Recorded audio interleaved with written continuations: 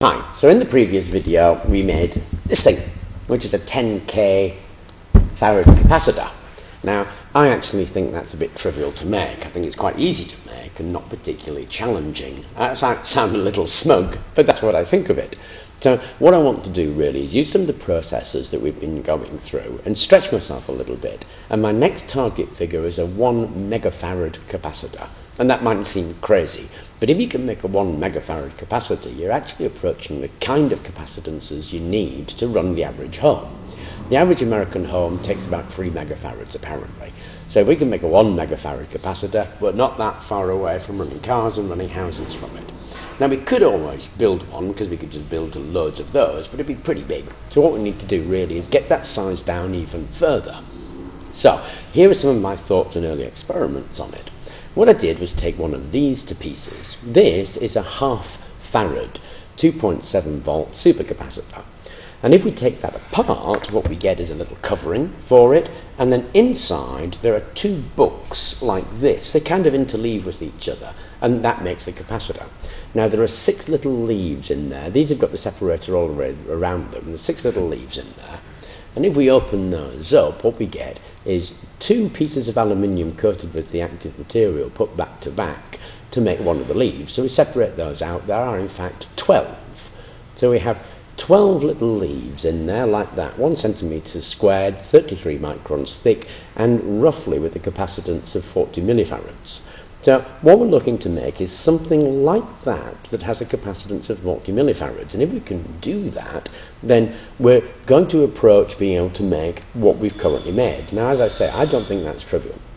I don't think that's difficult. Um, what we need to do is get that 10 times better than it is. If we can get that 10 times better than it is, then we're going to be able to reduce the size of this thing to the size of this thing. So this will become a 100k farad capacitor. Put 10 of those together and we've got a megafarad capacitor. So that's my target figure.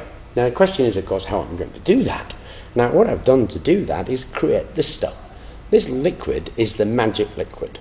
If you pour that liquid out, then it dries to form this graphene film, and that actual film is actually see-through. That is in fact about four microns thick, so it's four micrometers thick. Now, that stuff is um, actually astounding material. In fact, it's graphene based, obviously. And if we make up a sample of that, which we've got here, then pulling that apart, I've got a one centimetre square of the material, in fact two of them separated by a separator paper, and there's an electrolyte on there. And if I put those together and measure the capacitance, capacitance of that, which is what I've done, then that actually is 80 millifarads. That is twice as good as that. Now, bear in mind, that's 33 microns thick, and that's 4 microns thick.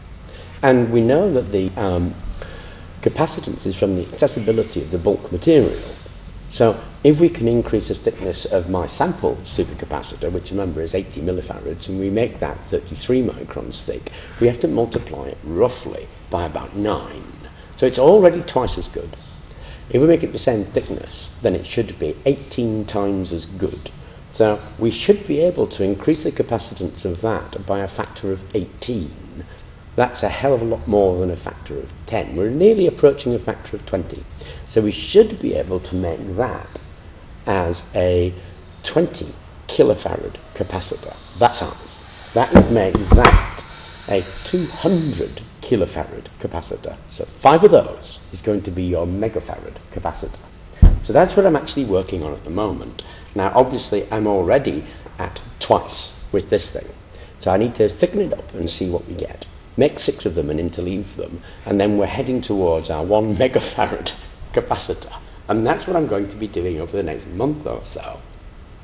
Now we come to another issue that is brought up all of the time with this sort of thing. And I was thinking about doing a separate video on this, and I probably will to complement this section of this video. Because what invariably happens when you do a video is people write to you asking you how you did it. And you have to realize that this whole channel is about how I did that. If you want to know how to do that, then just review the videos and you'll find how to do it. Now, there are no real recipes for doing it, and I'm not really going to give you any recipes for doing it, because giving you a recipe is no good whatsoever. You will do that if you have something I call the spirit of investigation. That is, if you want to do it, if you're willing to investigate something and willing to explore something, you can do all of this stuff yourself. It's not that difficult, but you have to put some work in yourself. Giving you recipes won't really do you any good, because if I give you a recipe, either you know what you're doing and you should have found it for yourself anyway, or you don't know what you're doing and it's going to do you no good, because making that liquid actually is quite difficult. If you have no experience in chemistry, you're not going to be able to make it until you gain that experience. If you have experience in chemistry, you should be making stuff like this already. If you want me to give you a recipe, then forget it.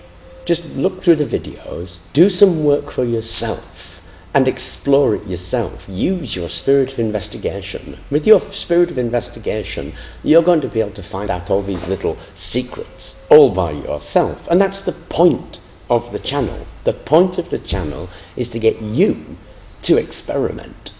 Anyway, we are actually progressing quite nicely to the one megafarad capacitor, and that's what I'm going to be building. But I thought I'd do this video to show you uh, really the beginning stage, because we're already really quite near to doing that by the little early test samples using this little one centimetre square. What I've got to do is build something bigger than this little one centimetre square because that one centimetre square of material is already performing 18 times better than what you can currently buy.